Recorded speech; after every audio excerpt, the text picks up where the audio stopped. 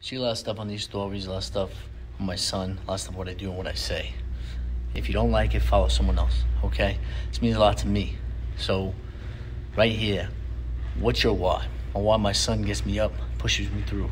I've been a champion, won championships on television, won three of them. Um, NFL workouts with teams uh, means a lot to me. Pro arena football, I pay for what I do. Um, but like I said, this past season was a lost one. This season coming up, like I said before, it's do or die time for this. All right, this means a lot to me. It means a lot to me for my son to see me play in Arizona at some point this season. It's about to aid somebody. I'm in my 30s. But training wise, doing everything like that, you couldn't tell at all. And I'm a monster at what I do. Be prepared, best slot receiver I can be. All right, help others out while I'm here on the journey. But do what I can do. Inspire, motivate, change. All right? Not average. Never go for average. Go for the great. It's not in me for that. All right?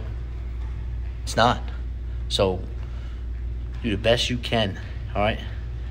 Never broken. Never in me to do that stuff for average. Quit on this. I've done been a champion. All right? Never quit on this.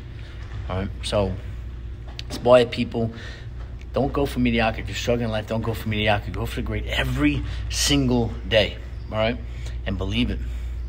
Because I do. Take all the smoke, all the noise. The best I can be for my son. Let's get it.